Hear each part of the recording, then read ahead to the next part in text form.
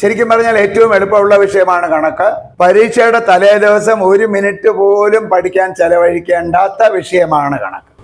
തലേ ദിവസം ബുക്ക് തൊടാതെ നൂറിൽ നൂറ് മാർക്ക് വാങ്ങിക്കാം അതിൽ പക്ഷേ ചില അടിസ്ഥാന കാര്യങ്ങൾ നിങ്ങൾ അറിയണം.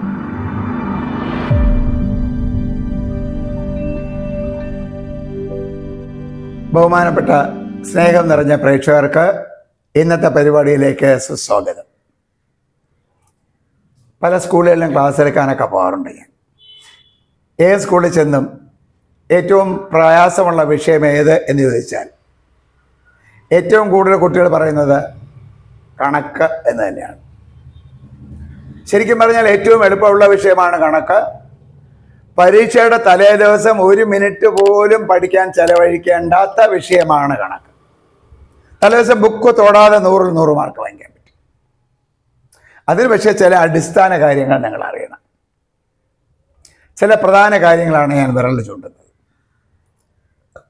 ഒന്നാമത്തെ കാര്യം ശാസ്ത്രവും സാമൂഹ്യ ശാസ്ത്രവും ഭാഷയും പഠിക്കുന്ന കുട്ടികൾ നന്നായിട്ട് പാഠപുസ്തകം വായിക്കാറുണ്ട്. നിങ്ങൾ സാമൂഹ്യ ശാസ്ത്രമോ മലയാളമോ പാഠപുസ്തകം വായിക്കുന്ന അതുപോലെ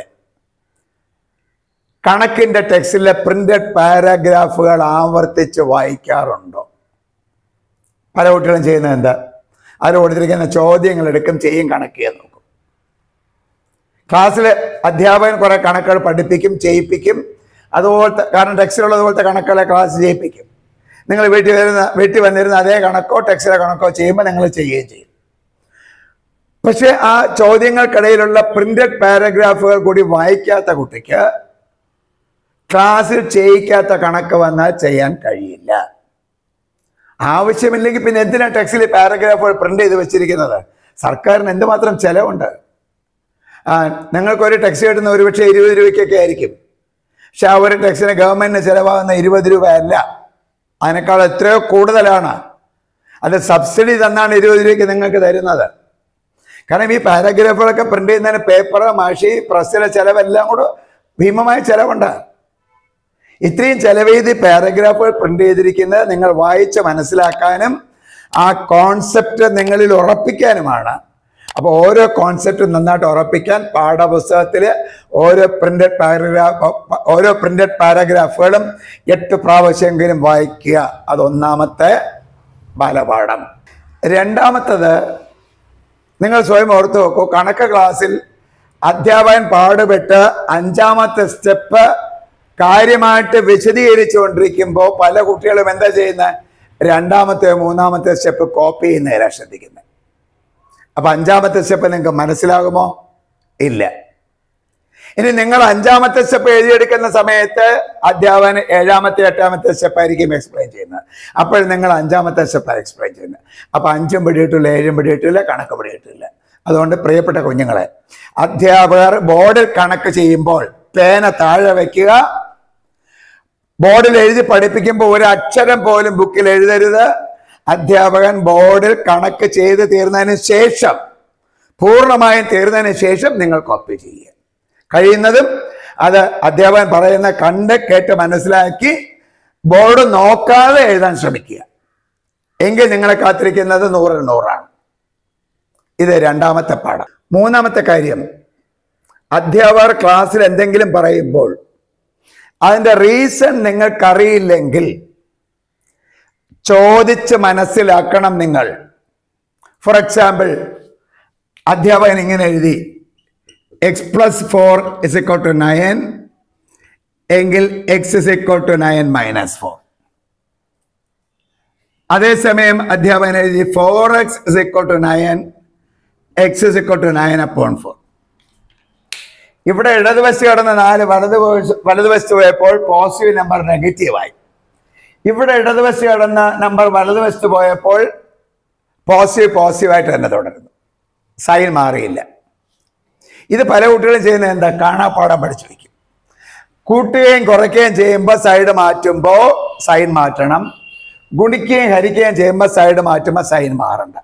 പക്ഷേ ഇങ്ങനെ കാണാപ്പാടം പഠിച്ചു വെച്ചാൽ അതെല്ലാം ഓർമ്മ വരണം എന്നില്ല അപ്പൊ ക്ലാസ്സിൽ അധ്യാപകരോട് ചോദിക്കണം എന്തുകൊണ്ട് ചില കേസിൽ സൈഡ് മാറുമ്പോൾ സൈൻ മാറുന്നു?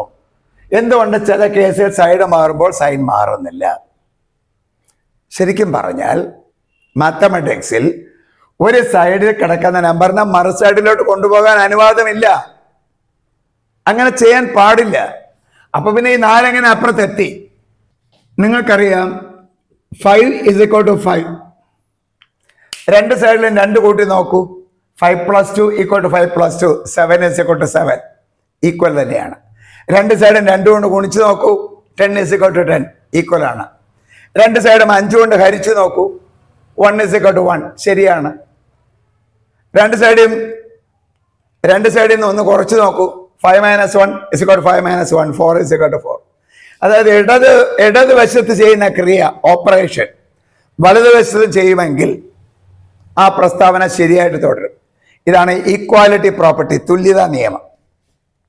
ഇവിടെ നമുക്ക് x plus four is equal to നയനിൽ എക്സിന്റെ വില വാല്യൂ അറിയുന്നതിന് തടസ്സം നിന്നത് ഫോറാണ് നമുക്കിവിടെ ഈ ഫോർ വേണ്ട. അതുകൊണ്ട് ആക്ച്വലി നമ്മൾ എന്താ ചെയ്യേണ്ടത്?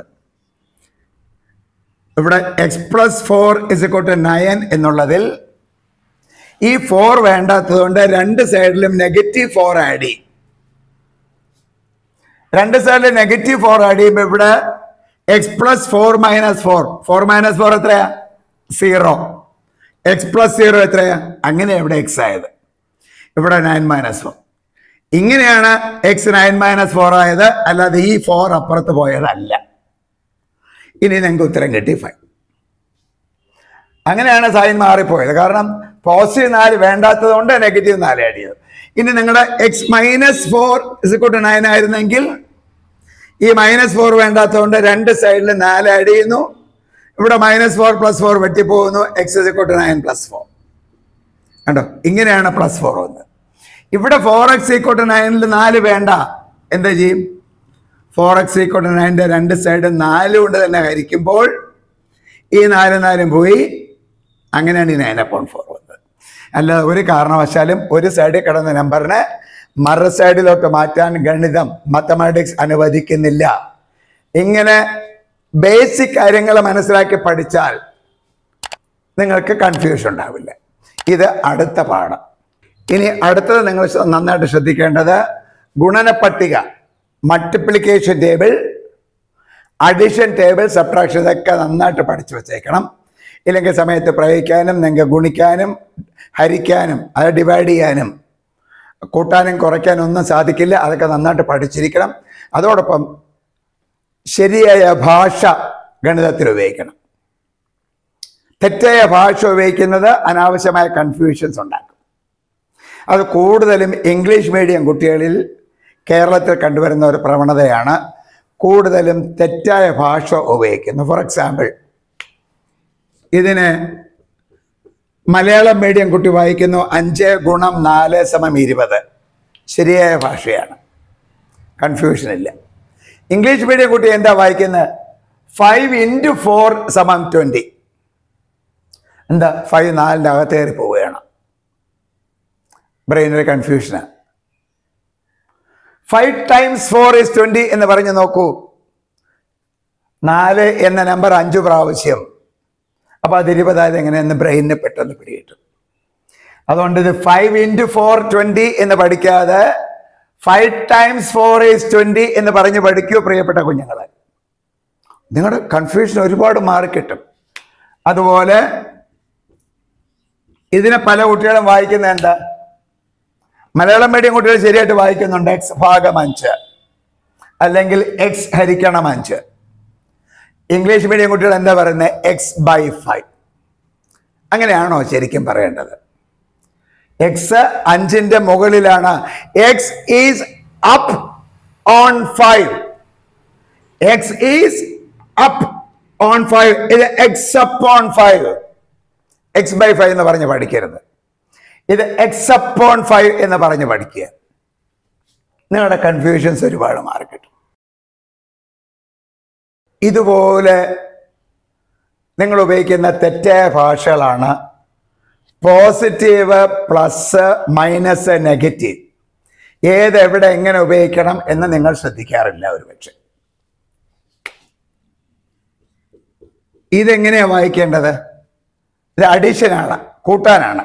ഇത് എക്സ് പ്ലസ് ഫൈവ് ഇങ്ങനെ അഡീഷന് വേണ്ടി പറയുമ്പോഴാണ് പ്ലസ് വെറുതെ ഒരു നമ്പറിന്റെ ചിഹ്നമായിട്ട് പറയുമ്പോൾ ഇത് പ്ലസ് ഫൈവ് അല്ല പോസിറ്റീവ് ഫൈവ് ആണ്. ഇത് പോസിറ്റീവ് ഫൈവ് എന്ന് പറയണം ഇത് പ്ലസ് ഫൈവ് എന്ന് പറയണം. ഈ പ്ലസ് ഇടുന്ന നമ്പറിന്റെ നടുക്കാണ് പോസിറ്റീവ് അല്പം ഉയർത്തിയാണ് ഇടേണ്ടത്. ഇത് കുറയ്ക്കാൻ വേണ്ടി പറയുമ്പോൾ എക്സ് മൈനസ് ഫൈവ് നമ്പറിന്റെ സൈനായിട്ട് പറയുമ്പോൾ ഇങ്ങനെയല്ല. പകരം ഇങ്ങനെ അല്പം ഉയർത്തിയാണ് ഇടേണ്ടത്. ഇങ്ങനെ അഡീഷന് വേണ്ടി പറയുമ്പോൾ പ്ലസ് എന്നും വെറും ചിഹ്നമായി പറയുമ്പോൾ പോസിറ്റീവ് എന്നും സബ്ട്രാക്ഷൻ കുറയ്ക്കാൻ വേണ്ടി പറയുമ്പോൾ മൈനസ് എന്നും നമ്പറിന്റെ സൈനായിട്ട് പറയുമ്പോൾ നെഗറ്റീവ് എന്ന് പറഞ്ഞ് ശീലിക്കൂ. ഇല്ലെങ്കിൽ ഉണ്ടാകുന്ന പ്രശ്നം എന്താണെന്നറിയോ? ഇങ്ങനെ എ മൈനസ് ബി കാൽക്കുലേറ്റ് ചെയ്യാൻ പരീക്ഷയ്ക്ക് ആവശ്യപ്പെടുന്നു. എയുടെ മൂല്യം പോസിറ്റീവ് ഫൈവ് ആണ്. ബിയുടെ മൂല്യം നെഗറ്റീവ് നാലാണ്. പല കുട്ടികളും തൊണ്ണൂറ് ശതമാനം കുട്ടികളും ഇതിനെ മൈനസ് ഫോർ എന്നാ പറയുന്നത്. അപ്പോൾ ഉണ്ടാകുന്ന പ്രശ്നം എന്താ? ഇങ്ങനെ ചെയ്യും. A minus b a positive five അതിനെ ഫൈവ് എന്ന് മാത്രം എഴുതും. അടുത്ത മൈനസ് ബി മൈനസ് ഫോർ എഴുതി ഫൈവ് മൈനസ് ഫോർ വൺ എന്ന ഉത്തരം കിട്ടി. ഇനി ഇതിനെ നെഗറ്റീവ് എന്ന് പറഞ്ഞ് പഠിക്കുന്ന കുട്ടി. എ പോസിറ്റീവ് ഫൈവ് മൈനസ് ഇതാ മൈനസ് എഴുതി. ഇനി negative four five minus negative four five plus four nine കണ്ടോ? നെഗറ്റീവിനെ മൈനസ് എന്ന് പറഞ്ഞ് പഠിക്കുന്നത് കൊണ്ടാണ് സപ്രാക്ഷൻ വരുമ്പോൾ നയന് പകരം ഒന്നായിട്ട് ഉത്തരം തെറ്റുന്നതും നിങ്ങളുടെ മാർക്ക് പോകുന്നത്. അതുകൊണ്ട് പ്ലസും പോസിറ്റീവും മൈനസും നെഗറ്റീവും വേർതിരിച്ച് പഠിക്കൂ. അതിനനുസരിച്ച് പറയൂ നിങ്ങളുടെ ഉത്തരം തെറ്റില്ല മാർക്ക് പോവില്ല. വ്യത്യാസം കണ്ടില്ലേ? കാരണം ഇവിടെ അറിയാതെ ഇവിടെ മൈനസ് ഫോർ എന്ന് പറഞ്ഞതുകൊണ്ട് ഈ മൈനസ് എട്ടിൽ ഫോർ ഇടുമ്പോൾ നിങ്ങളവിടെ ഒരു മൈനസ് ഫോർ കാണുന്നു. ബട്ട് ഇങ്ങനെ ശ്രദ്ധിക്കുന്ന കുട്ടിയെ ആ നെഗറ്റീവ് ഫോർത്ത് തെറ്റിക്കാതെ ഇതും ശ്രദ്ധിക്കും. ഇനി ഭിന്നങ്ങൾ ഫ്രാക്ഷൻസ് ലഘൂകരിക്കുമ്പോൾ സിംപ്ലിഫൈ ചെയ്യുമ്പോൾ ശ്രദ്ധിക്കേണ്ട ഒരു വലിയ കാര്യമുണ്ട്. കൊച്ചു കാര്യമാണ് പക്ഷെ വലിയ ശ്രദ്ധ വേണം. ഇപ്പൊ ഫോർ എക്സാമ്പിൾ എ ഗുണം ബി കണ്ടുപിടിക്കാൻ ആവശ്യപ്പെടുന്നു. എയുടെ വില ഫൈവ് അപ്പോൺ ത്രീ ആണ് ബിയുടെ വില ട്വൽവ് ആണ്. ഇത് രണ്ട് രീതിയിൽ കുട്ടികൾ ചെയ്യാറുണ്ട്. ഒന്ന് ഇങ്ങനെ എ ഗുണം ബി എയുടെ വില ഫൈവ് അപ്പോൺ ത്രീ ഫ്രാക്ഷൻ ഇങ്ങനെ ഫൈവ് അപ്പോൺ ത്രീ എന്ന് ശരിയായിട്ട് ശരിയായ രീതിയിൽ എഴുതുന്നു. ഗുണം ട്വൽവ് ത്രീ ട്വൽവ് ക്യാൻസലേഷൻ നടക്കുന്നു. Five fours are twenty five times four twenty ഉത്തരം ശരിയായി. ഇനി ചില കുട്ടികൾ ഫാഷൻ കാണിച്ചിട്ടോ അല്ലെങ്കിൽ സമയലാഭമാണെന്ന് അവർ വിചാരിക്കുന്നത് കൊണ്ടോ? ഫൈവ് പോയിന്റ് ത്രീയെ ഇങ്ങനെ സ്ലാഷ് ഇട്ട് എഴുതും. ഫൈവ് പോയിന്റ് ത്രീ എന്നിട്ട് എഴുതും ഗുണം ട്വൽവ് പരീക്ഷകളിലാണ്. നിങ്ങൾ വീട്ടിൽ ഇരുന്ന് ചെയ്യുമ്പോൾ അത്രയും സ്വതന്ത്ര മനസ്സ് പരീക്ഷകളിലില്ല എത്രയായാലും കുറച്ചൊക്കെ ടെൻഷൻ കാണും. ടെൻഷനൊക്കെ ഇരിക്കട്ടെ പരീക്ഷയ്ക്ക്. ടെൻഷനൊന്നും കളയണ്ട കേട്ടോ. ഇവിടെ പക്ഷേ നിങ്ങൾ ത്രീയും ട്വൽവും നേർക്ക് നേർ കാണുമ്പോൾ പരീക്ഷ ഹാളിൽ കുട്ടി അറിയാതെ ഗുണിച്ചു പോകും. ഇങ്ങനെ എഴുതും ഫൈവ് അപ്പോൺ തേർട്ടി സിക്സ് നോക്കൂ ഇരുപത് ഉത്തരം ഫൈവ് അപ്പോൺ തേർട്ടി സിക്സ് എന്ന് മാറിപ്പോയി. അതുകൊണ്ട് ഭിന്നങ്ങൾ ഫ്രാക്ഷൻസ് എഴുതുമ്പോൾ ഇങ്ങനെ സ്ലാഷ് ഇട്ട് എഴുതരുത്. ശരിയായിട്ട് ഹൊറിസോണ്ടൽ വര വരച്ച് ഈ രൂപത്തിൽ തന്നെ എഴുതുക സ്ലാഷ് എന്ന ശൈലി ഒഴിവാക്കുക. ചില ബുക്കിലൊക്കെ പ്രിന്റിൽ നിങ്ങൾ ഇങ്ങനെയൊക്കെ കാണും. അത് കമ്പ്യൂട്ടറുകാർ ടൈപ്പ് ചെയ്യുമ്പോൾ എളുപ്പത്തിന് വേണ്ടി ചെയ്യുന്നത്. നിങ്ങൾ ഇങ്ങനെ ഉപയോഗിക്കാവൂ. കുറേ തെറ്റ് നിങ്ങൾക്ക് ഒഴിവായി കിട്ടും. ഇനി സമവാക്യങ്ങൾ ഫോർമുലകൾ പഠിക്കുമ്പോൾ പാഠപുസ്തകത്തിൽ തന്ന പാഠപുസ്തകത്തിൽ തന്നതുപോലെ പഠിക്കണമെന്നില്ല. നിങ്ങൾക്ക് നിങ്ങളുടേതായ മാറ്റങ്ങൾ വരുത്താം. ഫോർ എക്സാമ്പിൾ ഒരു ഫോർമുല തന്നിരിക്കുന്നു റൂട്ട് ത്രീ എ സ്ക്വയർ നിങ്ങൾക്ക് ഇത് റൂട്ട് ത്രീ എ സ്ക്വയർ എന്നും പഠിക്കാം. എ സ്ക്വയർ റൂട്ട് ത്രീ എന്നും പഠിക്കാം. എ സ്ക്വയർ റൂട്ട് ത്രീ എന്ന് പഠിക്കുന്നതാണ് നല്ലതെന്ന് ഞാൻ പറയും. എന്താ കാരണം എന്ന് ചോദിച്ചാൽ ഇവിടെ എയുടെ വാല്യൂ വില പത്താണെങ്കിൽ അപൂർവം ചില കുട്ടികൾക്കെങ്കിലും സംഭവിക്കാറുണ്ട് പരീക്ഷ ഹാളിൽ ഈ റൂട്ട് ത്രീ എഴുതാൻ വേണ്ടി റൂട്ട് വരയ്ക്കുമ്പോൾ അറിയാതെ അങ്ങ് നീണ്ടുപോകും എ സ്ക്വയർ പത്ത് ഗുണം പത്ത് ഈ റൂട്ടിനകത്ത് എഴുതും. ഇനി ഇത് വലുതായതുകൊണ്ട് അടുത്ത സ്റ്റെപ്പിൽ നീട്ടി തന്നെ എഴുതും. ഹൺഡ്രഡ് ഗുണം ത്രീ ടെൻ റൂട്ട് ത്രീ എന്ന് എഴുതും. ഇനി എ സ്ക്വയർ റൂട്ട് ത്രീ എന്ന് പറഞ്ഞ് പഠിക്കുന്ന കുട്ടി ഇതെങ്ങനെ ചെയ്യും നോക്കാം. എയുടെ വില പത്ത്. എ സ്ക്വയർ അതുകൊണ്ട് പത്ത് ഗുണം പത്ത്. ഗുണം റൂട്ട് ത്രീ റൂട്ടിന്റെ വില എത്ര വേണോ നീണ്ടുപോട്ടെ റൂട്ട് ത്രീ അങ്ങ് പോയി. പത്ത് ഗുണം പത്ത് നൂറ്. നൂറ് root three a square root three എന്ന് പഠിച്ച കുട്ടി ഒരിക്കലും തെറ്റുന്നില്ല. എ സ്ക്വയർ റൂട്ട് ത്രീ എന്ന് പഠിക്കുന്നതിന് പകരം റൂട്ട് ത്രീ എ സ്ക്വയർ എന്ന് പഠിക്കുന്ന കുട്ടി കുറേയൊക്കെ ശരിയാവും ചിലപ്പോഴെങ്കിലും തെറ്റിക്കും. അതുകൊണ്ട് ഇങ്ങനെ റൂട്ട്സ് അതിനൊക്കെ ഉള്ള ഫോർമുല വരുന്നതിൽ റൂട്ട് ഉള്ളതൊക്കെ അവസാനം വരത്തെ കൊണ്ടാക്കി പഠിക്കൂ. നിങ്ങൾ ഒരിക്കലും തെറ്റിക്കില്ല. ഇനി എന്ത് പഠിപ്പിക്കുമ്പോഴും അതിന്റെ അടിസ്ഥാന കാരണം കൂടി ചോദിച്ച് മനസ്സിലാക്കണം. ഉദാഹരണത്തിന് നമ്മൾ പഠിക്കുന്നുണ്ട് ten divided by zero not defined നിർവചിച്ചിട്ടില്ല. അല്ലെങ്കിൽ ഇൻഫിനിറ്റി എന്നൊക്കെ പറയാറുണ്ട്. ചോദിക്കണം എന്തുകൊണ്ട് അവിടെ ഉത്തരമില്ല? പല കുട്ടികളും ചെയ്യുന്ന എന്താ? കാണാൻ പഠിച്ചിട്ട് ten divide by zero not defined അതിന്റെ കാരണം അന്വേഷിക്കുന്നില്ല. എന്താണ് കാരണം? ഇപ്പം നോക്കൂ twenty divide by four is equal to five എന്ന് എഴുതിയാൽ എന്തുകൊണ്ടാണ് ഇവിടെ ഫൈവ് എഴുതിയത്? ഡിവിഷൻ പോസ്റ്റുലേറ്റ് അനുസരിച്ച് ഈ നാലും അഞ്ചും കൂടി തിരിച്ചു ഗുണിക്കുമ്പോൾ ഈ ഇരുപത് കിട്ടണം. ഇപ്പൊ നൂറ് ഡിവൈഡഡ് ബൈ രണ്ട് സമം അമ്പത് എഴുതാൻ കാരണം തിരിച്ച് രണ്ടും അമ്പതും കൂടെ ഗുണിക്കുമ്പോൾ നൂറ് കിട്ടണം. അപ്പൊ പത്ത് ഡിവൈഡ് ബൈ സീറോ ഇവിടെ നിങ്ങൾ ഏത് നമ്പർ എഴുതിയാലും ഈ സീറോ കൊണ്ട് ഇതിനെ ഗുണിക്കുമ്പോൾ ഈ നമ്പർ കിട്ടാൻ പോകണില്ല കാരണം സീറോ ഗുണം എനി നമ്പർ സീറോ അപ്പോൾ ഇവിടെ ഏത് നമ്പർ എഴുതിയാലും ഈ നമ്പർ കിട്ടില്ല. അതുകൊണ്ട് അവിടെ ഒരു ഉത്തരം എഴുതാൻ സാധ്യമല്ല. അതുകൊണ്ടാണ് നോട്ട് ഡിഫൈൻ ഇങ്ങനെയുള്ള അടിസ്ഥാന കാരണങ്ങൾ കൂടി കണക്കിൽ ഓരോ ഭാഗവും പഠിപ്പിക്കുമ്പോൾ ചോദിച്ച് മനസ്സിലാക്കി പോയാൽ കണക്ക് പോലെ എളുപ്പം വേറെ ഒരു വിഷയവുമില്ല. തലേ ദിവസം ഒരു മിനിറ്റ് പോലും പഠിക്കാതെ നൂറിൽ നൂറ് മാർക്ക് വാങ്ങാൻ നിങ്ങൾക്ക് കഴിയും. അതിനുള്ള അപാരമായ കഴിവ് പ്രിയപ്പെട്ട കുഞ്ഞുങ്ങളെ നിങ്ങൾ ഓരോരുത്തരിലും ഉണ്ട്.